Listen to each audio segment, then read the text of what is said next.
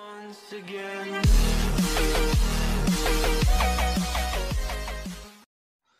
Hello, it's Jimmy Hurd O'Rileys, and today we're just doing a simple one. It's a full engine service on a 1.6 HDI. Uh, this is the same fitted in most vehicles, Peugeot 308, Ford Focus, uh, all that sort of stuff. So it's basically going to be the same procedure for all of those cars, but uh, in this case it's on a Citroen C4. So here we have some of the service kits. We have here air filter, fuel filter from Blueprint, oil filter, and a cabin filter. So all of this stuff here is Blueprint. This is the my go-to brand if I'm going to pick one. Um, but in this case, for this filter here, this is sorry the cabin filter one. Uh, they didn't have that in the Blueprint, so only a Wix available for that one. So we're going to get all these changed over. So the first thing I'm going to do is when I come to the engine bay is pull on these little rubber tabs here, pull them up. Now sometimes these are quite stiff. These were quite stiff. I had to give quite a pulling to get these off just a few minutes ago. But what I've done is sprayed them with a little bit of copper grease so they slip on and off nice and easy. So inside this box here we have the air filter for the engine. Over here we have the fuel filter and we have just down here. Where are we? We need to get rid of these pipes but the oil filter is just behind there. So if we come across to this pipe here press these little tabs and then pull that out and then it just pulls out from the other side as well. Now once you've got this pipe out of the way we can see the oil filter. There it is. Just there What I'm going to do is leave the oil filter to last. I'm going to do the easiest one first, which is the air filter. Then I'll do the cabin filter while my hands are clean-ish. And then we'll move on to the fuel filter, then the oil. So for the air filter, you have 3T20 Torx here. Just get those open up.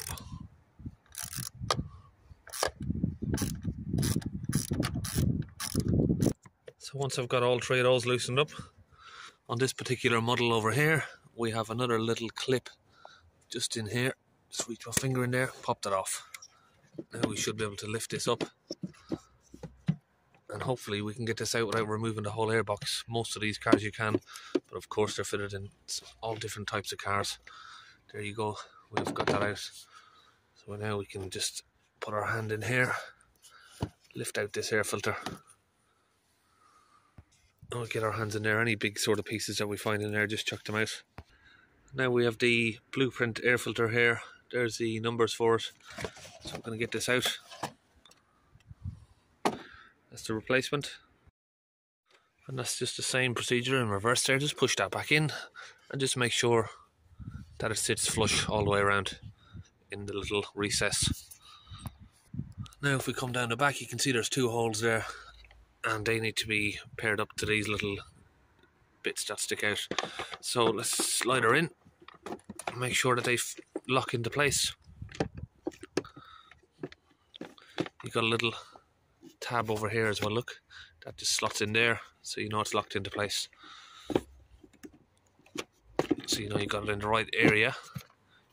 And you can just feel when the back of it's locked in because you can feel it click in. Just need to wiggle it around. Now that's locked in give it a bit of a pull. You know, it's um, try lift the back end up. That doesn't move now, so it's locked down. Just got to make sure that the rear end of it is in locked into those tabs. Now we just tighten back down these screws. So now that's done, we'll move on to the cabin filter before we get our hands oily and full of diesel. Open this up. Now we've got that out, we need to come under here just under there you can see a black plastic panel on the right side there's a little tab pull that and grab the handle in the middle and just give it a pull. Might be a little bit tight but you can pull it out. So you undo the tab from here pull it out and it's just on little clips there so you just need to give it a good pull. Then we can come back down under. Little flap should pull down there so you can grab it and just pull it out.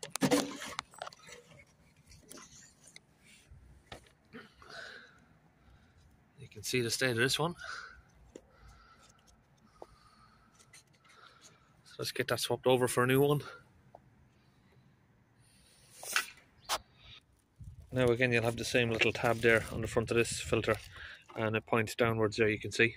So again we'll just slip that back in into place there. And then that's it, just push the plastic cover back on there. Make sure it's all clicked in all the way along. that's fine. Now we're going to move on to the diesel filter here, or fuel filter, eight millimeter, And we need to get those in there on top of that little plastic housing of the fuel filter there. You got two eight millimeter bolts on this this particular car here.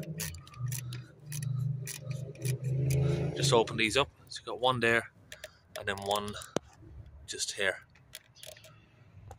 So what is worth mentioning is before I'm undoing this filter, I did have the car running for about 10 minutes just to get the engine oil warmed up. Makes it a little bit easier to get the oil out, comes out a bit faster and just makes it a better job. So the engine is hot now. Now we've got both of those bolts there loosened up, they're just sticking up their captive nuts. So now we just need to disconnect the fuel lines. Um, we have one here that we just need to get a little pick under or a flat screw door, whatever really. Just just lift that little plastic tab up. Then you can squeeze the two of them and pull it out. Disconnect it from here. It's locked into a little tab there to stop you from pulling it. So now we just disconnect these. So that's that one out. Next one, press down the white tab and pull it out. It's a little bit hard to do it with one hand. There you go. That's the second one. Third one. So push forward, press the tab down, then pull back. Just like that. Now hopefully we can uh, slide this out without removing any of this plastic housing at the top here. There we go. Now if you can hold the fuel filter on something like this. I've got a little step here to hold it. But uh, there's three uh, T15 little Torx bolts there that we need to open. Let's press it down. Open these. It's got one, two, and three here. And you do want to have a little tray underneath it because it's it's going to spill a lot of fuel. So we'll open these up.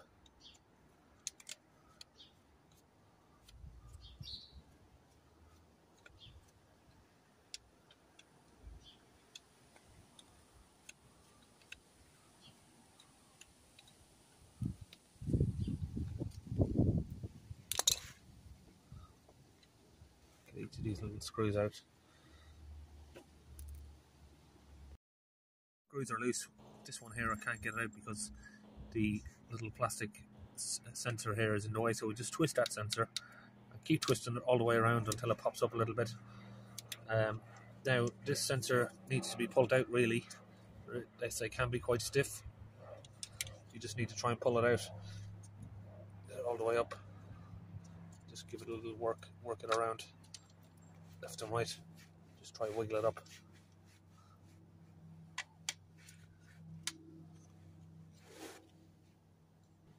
Now if you have something like this, a little pry tool works very good for this sort of stuff. Just pop it under it, that pops it out.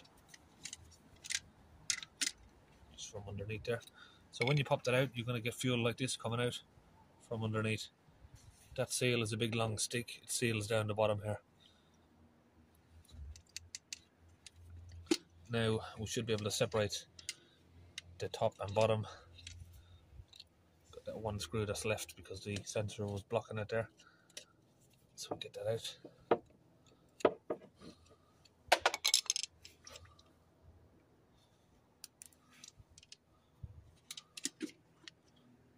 And you can see there that's the sensor from the top. Now we'll get the new filter back in here just new filter goes back in in the same way. You just slide it over and line up the three three little screw holes there like that. Get your screws back in. So here we have the new filter. So we just need to sit that little gasket there in there, and you just need to make sure that that doesn't move when you're uh, sitting the, the top on the top section.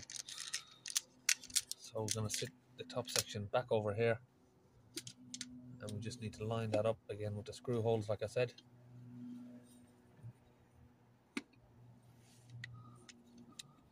So you can see the screw holes there line up in the inside. While that's on, you need to just lift it back up. Just make sure that this gasket hasn't moved, because if that gasket's moved, then you will have a leak. So push that down, nice and tight there, and we can get the screws back in.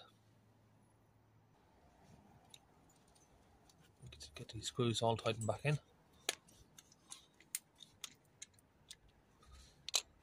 Now we need to push this centerpiece back down, try and push it down a level though. You don't want to press down too much on this end because you'll snap it. We need to sort of press it down right in the center and then get it to twist down so it locks back into place. It can be quite stiff. Just twist it around until you get it pushed in. And then obviously we just turn that back in so it's locked into place there. Now it's just a case of working it back into where it was sitting. Just need to wiggle stuff around a little bit. These hoses are a little bit flexible. Just push it in sit back down in there. Exactly in the same position where it came from. Connect back up your hoses.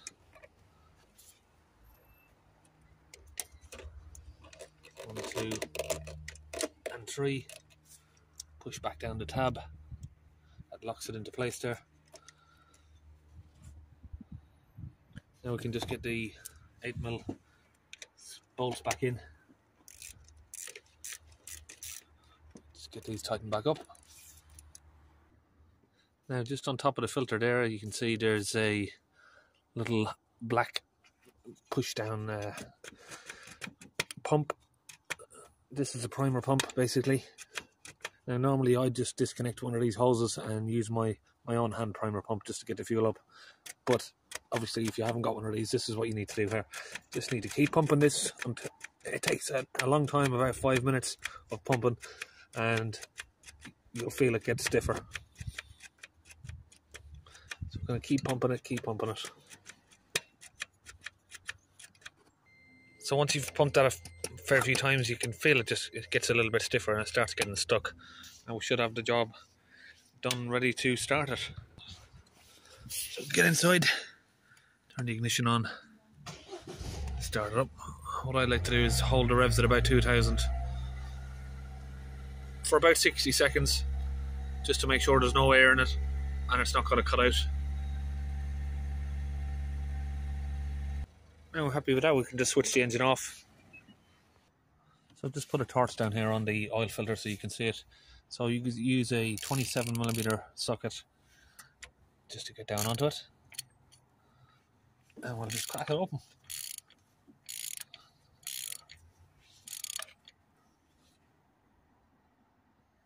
You can use a little uh, cloth if you've got one, just to sit under it so you can catch any sort of drips that come off it. And we can carry on undoing the rest of it.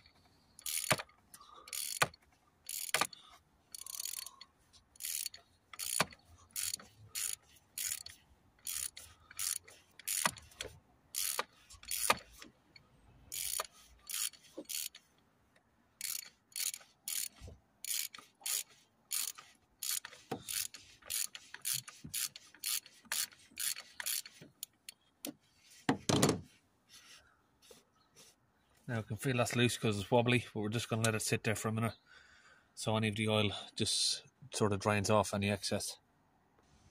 Uh, once about a minute or so has just uh, passed, we can then just slowly pull it out. We didn't actually get any drips at all there from that. So that's the filter. So we've just pulled the old filter out of the housing there that that sat in. Now we've got the new filter. We're not going to put that in the housing. What we're going to do is come down to the filter itself. Let's see if I can get the camera down there in an angle for you. So you'll see a little recessed hole. Can't see it on the camera. Basically we need to sit this filter in and locate that into the little hole that that sits in. This little tab here. So if I just put my hand in there and if I sorry had the camera in the wrong place. If I spin the cam spin the oil filter you'll feel it sort of drop then. Spin it around until you feel it drop into place and then just push it. And it'll click into place there. Now we can get the lid or housing uh, yeah cover whatever you'd like to call it. Uh, just slide that onto place and now screw it in. Give it a couple of turns by hand just sort of get it into place and then we can get the socket under. Socket down. We're just going to push it downwards as we're tightening. So it grips.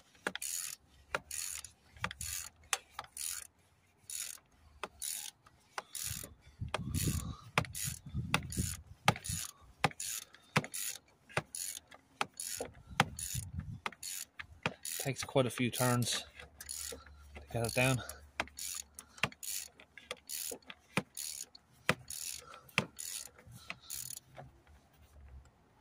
That's it, just tight enough to make it stop basically. Now we can get these little air inlet pipes back into place. Just push that in, push it in, click it into both ends. Get the engine cover back over there and sit it back in the little tabs where it came from. Pop, pop. Sorry, I was over here. Just pushing back on the engine cover. Now we just need to drain the engine oil and put the new engine oil in. So what I'd normally do is locate from underneath which side the drain plug is at. So if the drain plug is on the right side of the oil sump, I'm going to jack it up from the left side so the car is tilting in that direction. Now we've got the car raised up, we just slide a axle stand under the subframe and let that hit there at the top. So now we're going to open the oil sump 21 millimeter socket just to crack that open. Give it a couple of turns. Now you can open that by hand or if you've got one of these little magnetic sticks, just locks onto place there onto the side of the sump plug and you can twist it out.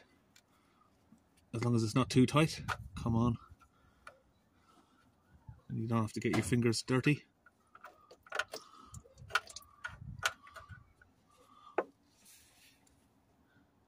So we'll just let that oil drain. Now these usually take anywhere from about 3.8 litres to 4.2 usually, so but whoever you're buying your oil from, um, when we use our part suppliers, GSF or Bennett's, we just give them the carriage and they check on the Autodata system for us. It takes you know four liters and five W30 oil. Once we've slowed down to a little trickle, we'll put a half liter of clean oil in the top just to flush that out.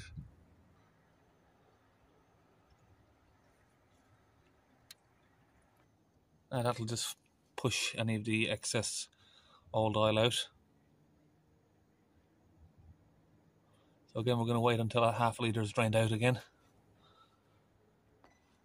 That's it, we'll tighten it back up with the magnet stick and pull that off. Get back on there with the ratchet.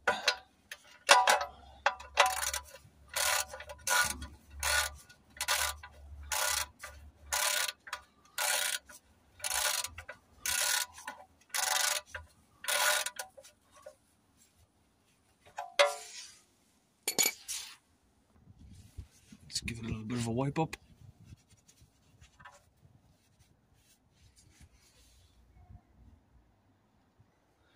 So now that's all back together underneath, we've put the car down level and we'll put our 4 litres of oil in here. So what I'd normally do, if something takes 4 litres for instance, or takes 6 litres, if something takes 4 litres, I'll put in 3.5, then check the dipstick, add another 100 millimeters, uh, and so forth. Just uh, add 100 mil at a time and keep checking your dipstick until you get it right. Now, of course, having new oil in, when you pull the dipstick out, it's going to be pretty difficult to see. So, what we will do is just run the, run the engine for about 30 seconds and that oil will turn black again. Put the oil cap back on, start the engine there. Now also by running the engine you're going to let the oil filter fill back up so that'll help you get the correct oil level as well. So we can check the oil again. Now the engine's been running, we just turned it off. Now you can see there, you can already see the level of the oil again and you can see it's black already. So maybe another 100 mil or so should, what people don't understand is, yeah, 3.8 litres has got to there. But to get from here to there could be only a case of another 100 mil or so. So we'll add another little 100 mil of oil into there.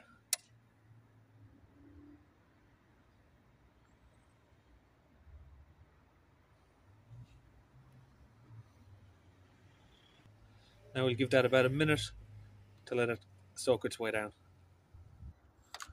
Now we'll check it again, push it all the way down. Give it, I like to give it a little turn, and then pull it back up. And we are about spot on there. You can see that. That focus. So we're about a, two notches from the top, which is perfectly fine. And that's just another question for people. Um, you know, does the oil be black as soon as you change it? You can see that's brand new oil. It's run for less than a minute in the engine and it's almost as black as it was before we changed it.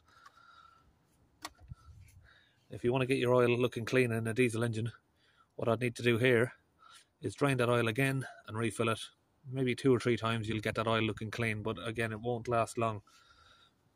A couple of hundred miles or so, you'll start seeing it coming black again. So that's it on this one. Engine is all serviced. Cabin filter, air filter, fuel filter and oil filter. That's it. We will see you on one of the next videos.